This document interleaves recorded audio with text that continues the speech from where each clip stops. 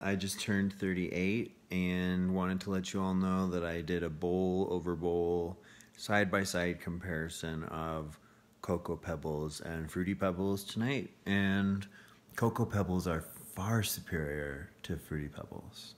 There's no competition.